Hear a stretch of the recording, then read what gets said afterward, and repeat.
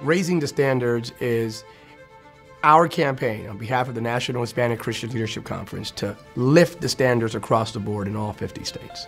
It's time not only to raise the standards from an academic perspective, but let's challenge the faith community as well. Within that macro campaign, our number one deliverable is establishing a faith and education coalition. The Faith and Education Coalition, first of all, calls upon faith leaders to sign on to a commitment stating that they're going to support public education. The NHCLC is involved in order to break down um, these false barriers of separation between the faith community and the education community. No longer will the faith community keep the educational community at arm's length.